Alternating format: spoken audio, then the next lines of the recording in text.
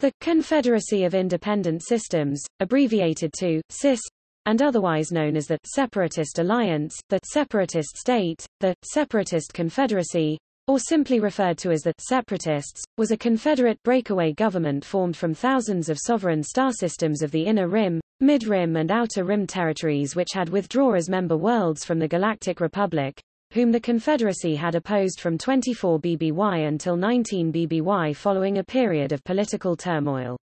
Established by fallen Jedi Master Count Dooku of the planet Serenno, who served as the government's head of state, the Confederacy was founded from a belief of excessive taxation and corruption within the Republic's Galactic Senate, as well as a general feeling of dissatisfaction towards and neglect by the Republic-centric core worlds region of the galaxy. Furthermore, the government was secretly supported by several major galactic corporations which formed the Confederacy's Legislative Council, including the Trade Federation, led by Viceroy Nute Gunray, the Stalgasin Hive, led by Archduke Poggle the Lesser, the Intergalactic Banking Clan, headed by Chairman San Hill, the Techno Union, led by Foreman Wat Tambor, the Commerce Guild, led by Presidente Shu Mai, the Corporate Alliance, led by Magistrate Passel Argente, and the Retail Caucus. In 24 BBY, a political crisis had begun which led to escalating tensions between the reigning republic and the rising confederacy, established in a galaxy-wide secessionist movement orchestrated by Dooku. Many within the Confederacy, including its Parliament of Senators, had no desire in fighting their adversaries, as they sought to be free of what they saw as the corruption and tyranny of the Republic. However, in 22 BBY, both governments and their respective military forces became enmeshed in the pan-galactic clone wars that had erupted on the planet Geonosis, the first conflict in a millennium. In the following three years of the war, which had raged across the entire galaxy on several fronts, the Confederacy made rapid attempts to cease the Republic's influence.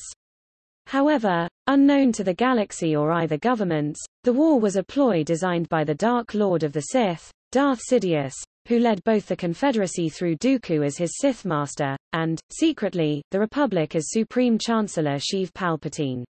The Sith Lord had managed to deceive both parties. By the third year of the war, the Confederacy had suffered several major defeats in the Outer Rim sieges as the conflict began to approach its end, while the government had lost a third of its navy in the decisive Battle of Coruscant, which had resulted in the death of Dooku, the Confederacy's leader, though they were unaware that Dooku's death was actually masterminded by Sidious.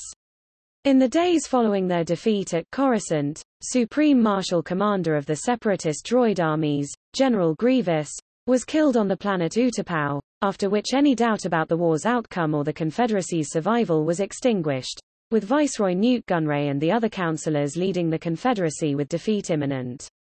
However, the Republic was replaced by the Galactic Empire, ruled by Galactic Emperor Sheev Palpatine, who had sent Darth Vader to slaughter the Council on the planet Mustafar. Subsequently after, the Confederacy's droid army was deactivated and the corporations that supported the separatist cause became nationalized, but the Confederacy had not formally surrender, and instead fragmented into several holdouts throughout the galaxy. However, for the most part, the Confederacy had disappeared after the war. But an idealized view of the Confederacy valiantly fighting for a just cause emerged during the imperial era, with some still holding secessionist tendencies to which the empire suppressed.